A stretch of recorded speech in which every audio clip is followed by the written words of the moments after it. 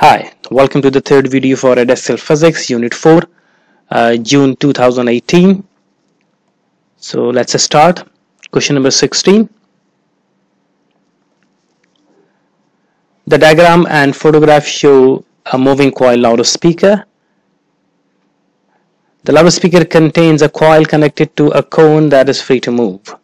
The coil is in a radial magnetic field uh, when there is a varying current in the coil the magnetic force on it on it varies.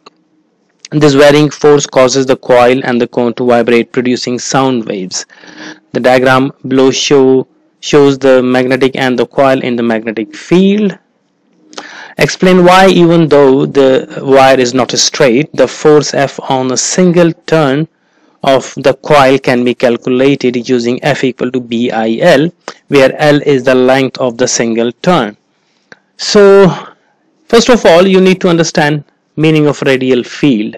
So meaning of radial field is if you see the diagram uh, this arrow inward arrows are showing a magnetic field from north to south and uh, radial mean the the field is always at 90 degree to the coil at every point.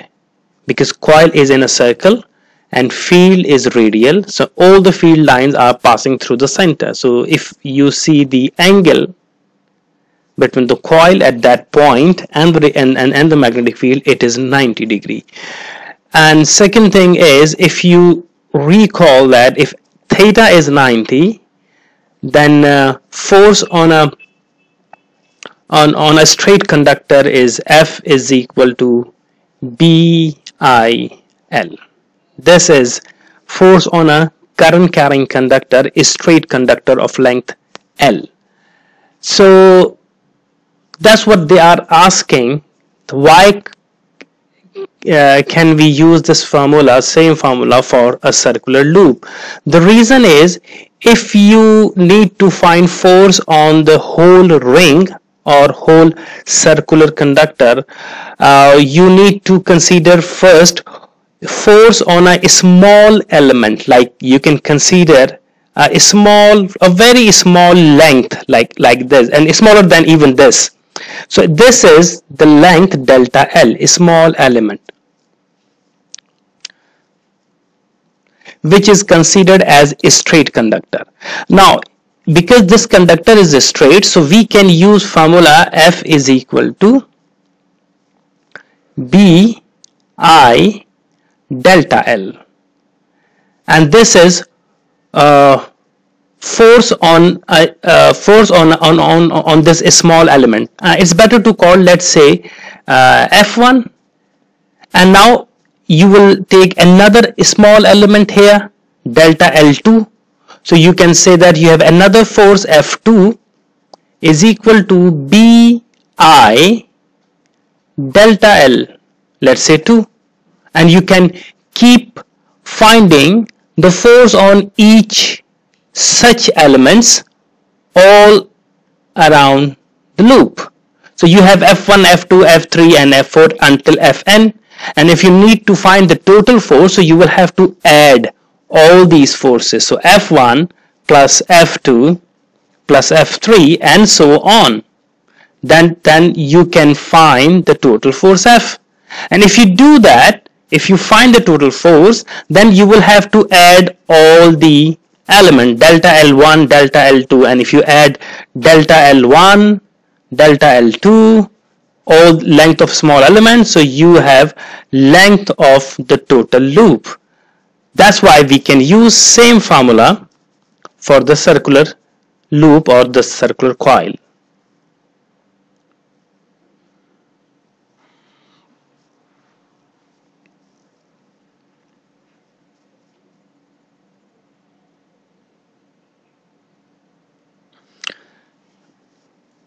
Calculate the force acting on a coil of 120 turns.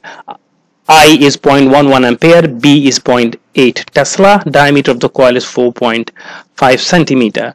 So if you need to find the force, so we are going to use same formula F equal to BIL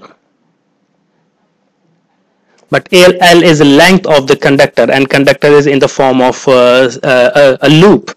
So you can say that the formula would be bi L. L is the length of the loop which is the circumference and circumference is pi into D.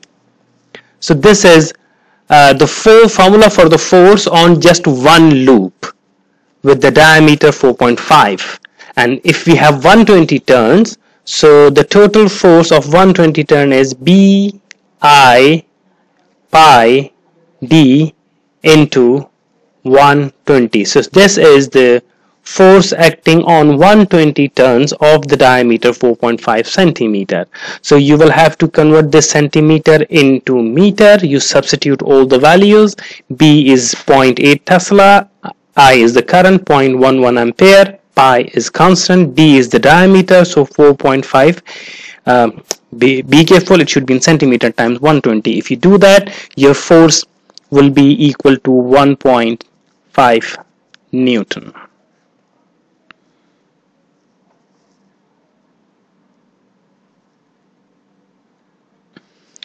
Part B, an amplifier unit can be used to amplify music from uh, device from devices with small speakers such as smartphones. In the amplifier unit there is a coil connected to an amplifier and a loudspeaker as shown. So this is the coil in the amplifier, amplifier unit and the loudspeaker. So a smartphone is placed on the amplifier unit so that the coil in the smartphone speaker is above the coil in the amplifier unit.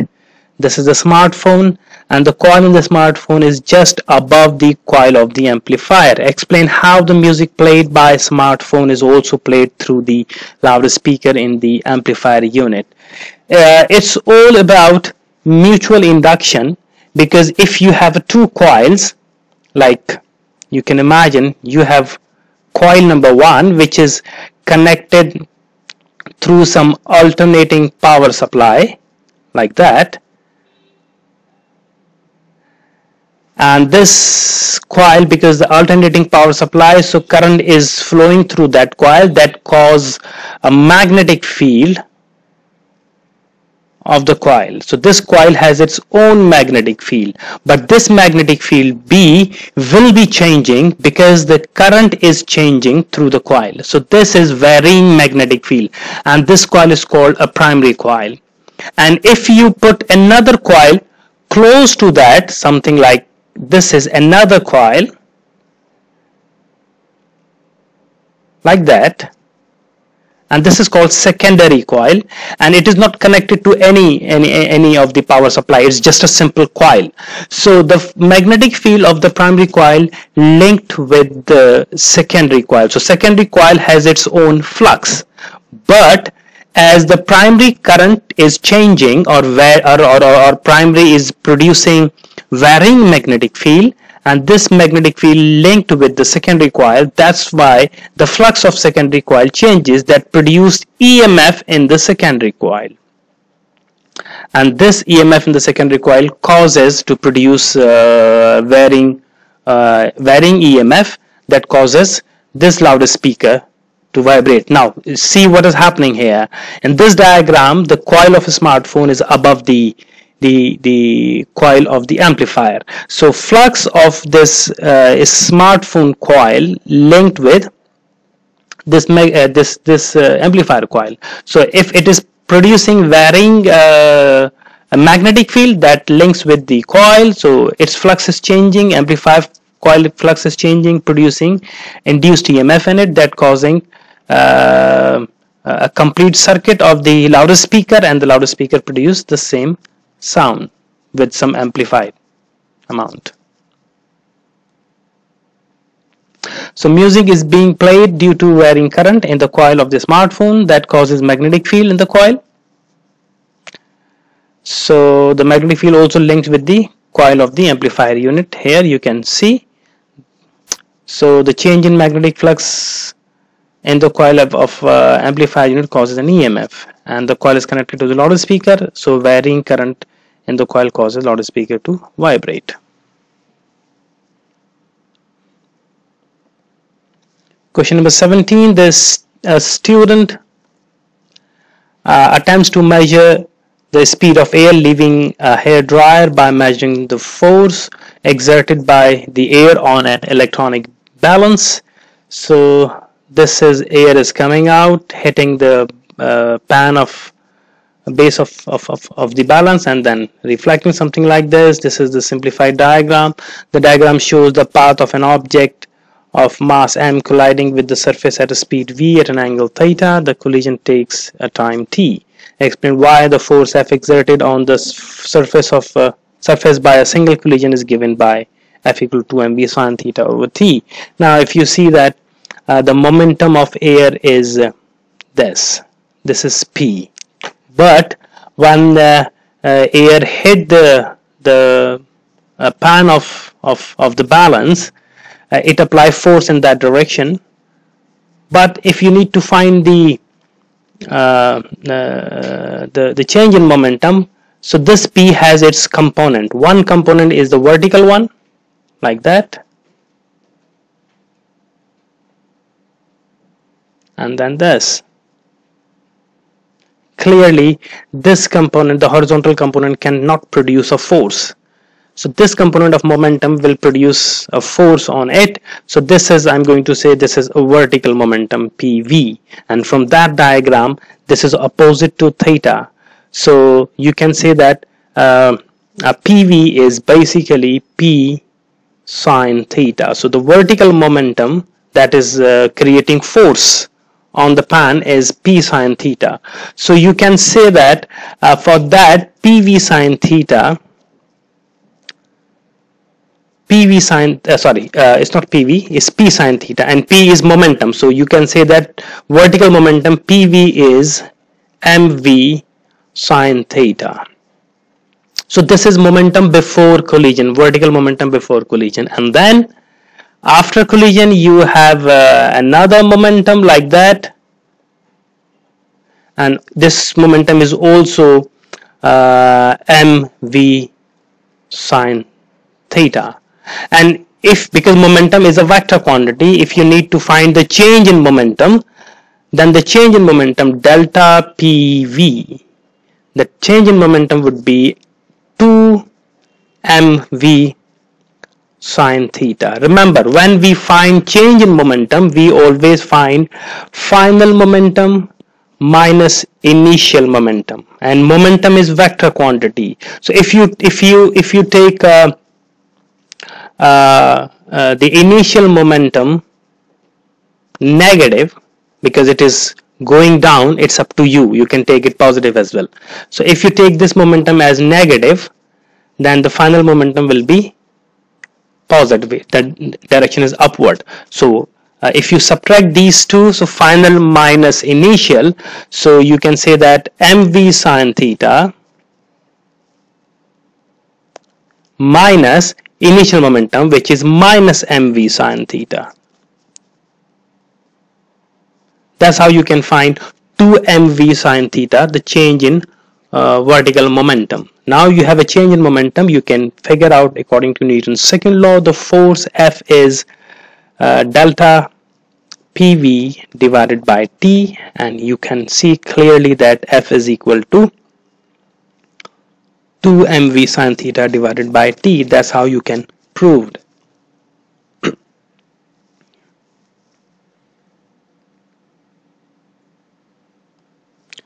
the student varies the angle theta at which he holds the hair dryer a graph of force FB acting on electronic balance against sine theta is plotted. This is force on vertical axis horizontal axis is value of of sine theta. The average mass of air striking the electronic balance per unit time mass per unit time is given by VA rho where A is the area of the hair dryer nozzle and rho is the density of air.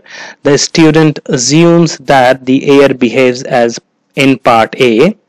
Show that in this case the gradient of the graph is 2v square a rho okay so now if you find the gradient so gradient is rise over run so gradient is rise over run in this case rise is your amount of force.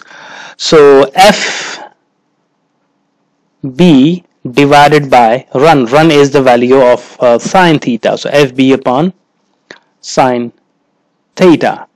And now you can see that fb is the force acting on on the balance which is uh, we have proved f is equal to 2 mv sine theta divided by t.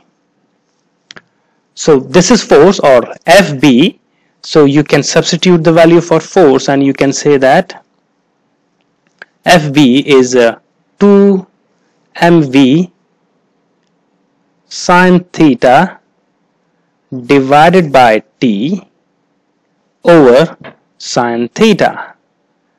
Clearly sine theta and sine theta gets cancelled so gradient is equal to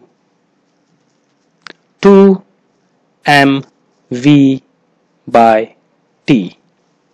And now in this equation if you look at m upon t this is mass per unit time and in the question they are saying the mass of air striking electronic balance per unit time is this so you know that m upon t is equal to rho v a rho. So you you replace m by t in the equation. So you say that the gradient is equal to twice of m by t and m by t is v a rho. So v a rho into v. This v is the last one. So v and v v square. So gradient is equal to 2 v square a rho that's what you need to prove.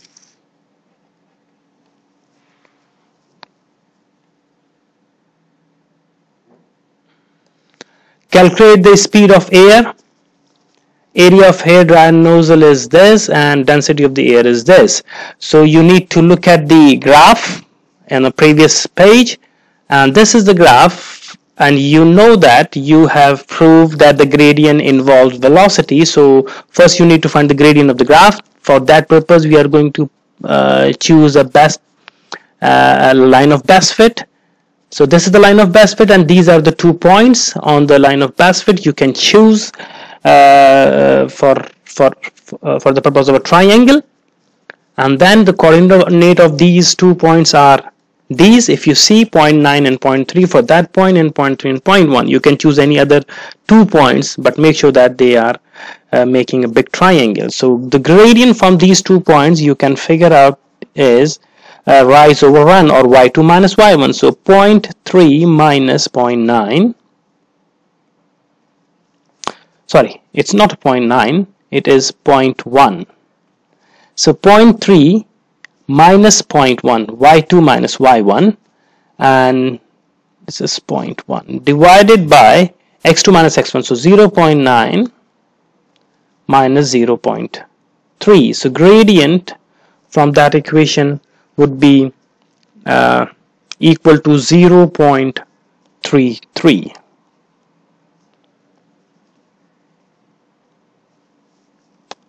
so this is your gradient 0.33 uh, Newton. This is your gradient. And uh, then you know that the gradient is equal to 2 v square a rho that we proved in the previous part. So v would be equal to gradient divided by 2 a rho square root. You substitute the value, gradient is 0.33, 2a is the area of the nozzle which is 2 into 10 to the power minus 3 and rho is the density, you substitute all the value, so v you are going to find 8.29 meter per second or you round it off, so v is equal to 8.3 meter second inverse. That's how you can figure out speed of air suggest why the speed calculated in part B might be incorrect. So of course you say that the velocity depends on many factors, uh, many factors are there involved. So we maybe you you you see that the uh, density of the air might be different that we are using here in this example. At that moment because of the temperature change density might be different and uh, of course we assume that the theta is for air particle is same for some value but for for different particles theta will be different. Uh, due to these reasons uh, we might be different that we calculated Question number 18. A student investigating capacitor uses the circuit shown. Uh, okay. The capacitor is initially uncharged. When the switch is closed, there is a current in the circuit and the capacitor charges. The resistance of the variable resistor is adjusted as the capacitor charges in order to maintain constant current in the circuit. After a time of 132 seconds, the capacitor is fully charged show that the capacitance of the capacitor is about 5000 microfarad. Initial resistance is 28 kilo ohm and applied potential difference is 6 volt. We need to find capacitance and the straightforward approach for capacitance is uh, we have a formula for capacitance which is C is equal to Q by V uh, for capacitance we need charge and we need voltage but charges and the voltage we are given voltage but we are not given charge. But if you see that this q is the amount of charge can be written as i into t as per definition of charge and v is equal to ir so i i gets cancelled then capacitance is time over resistance. So you have a time 132 second divided by r is 48 uh, sorry not 48 28,000 so in 28,000 you can figure out C capacitance as 4710 into 10 to the power minus 6 farad and it's approximately 5000 microfarad.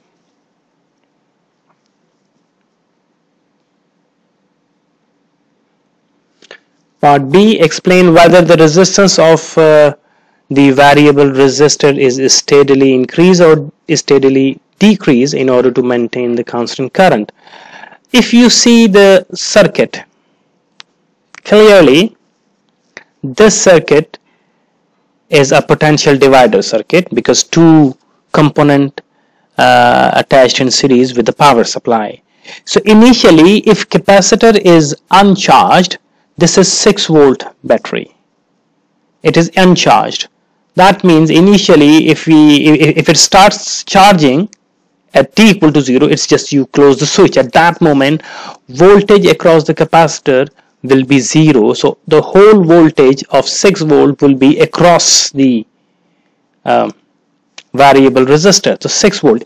Remember this is just at the start as soon as you turn on the switch.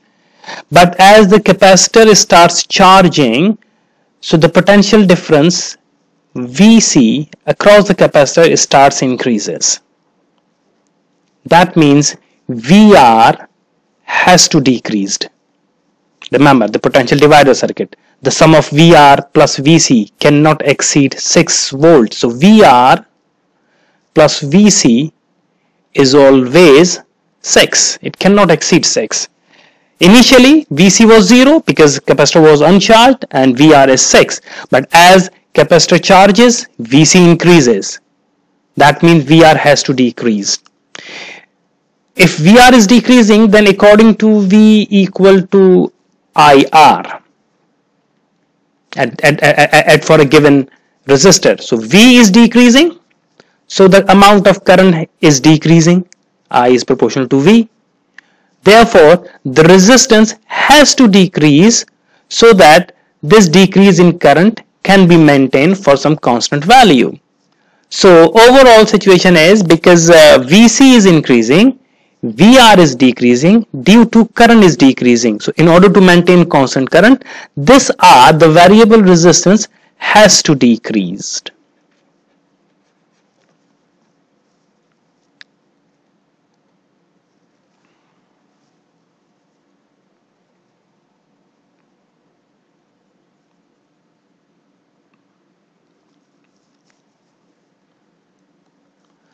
A textbook states in a circuit with constant resistance, the time to fully discharge a capacitor is equal to 5 times of RC. Show that RC uh, has the unit of second. RC, if you recall, RC is a time constant. It is time constant.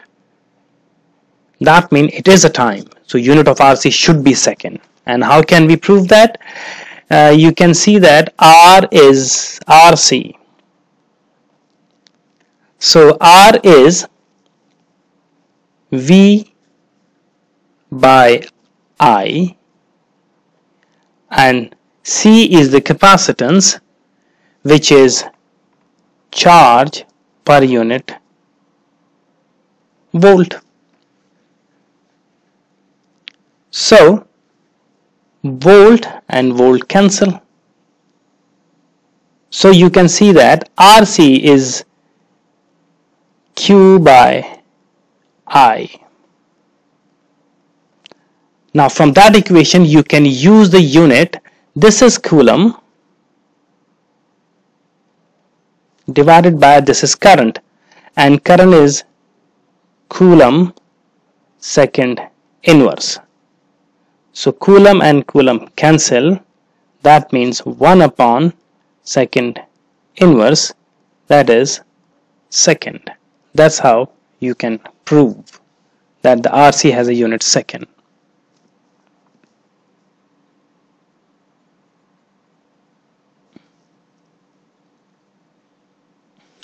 Evaluate the statement from the textbook. Your answer should include a suitable calculation. So the statement is saying that in a circuit with a constant resistance R, the time fully discharge is 5 times of RC. So if you see that um, Q is equal to Q naught e to the power minus T by RC. Okay, so remember this Q on the left hand side, this Q is the charge that is left inside the capacitor after discharging in time t. So let's say if t is equal to 5 times of RC, that means Q is equal to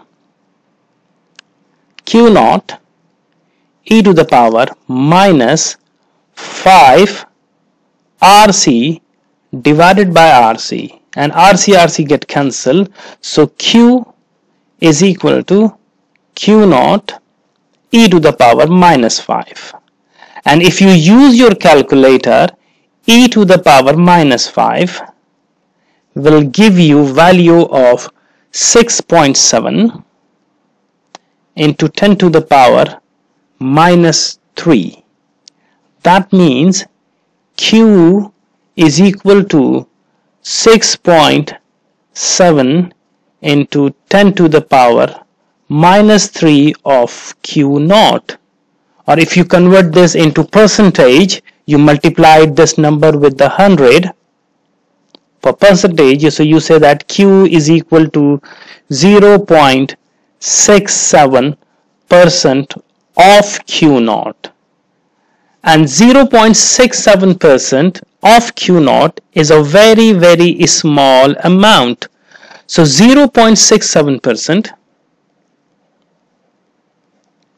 is very small amount. Very small amount and negligible or approximately equal to zero it's not that much charge left inside the inside the charge. That means 5 times of rc can be considered as a time for a capacitor to fully discharge. That's how you can prove.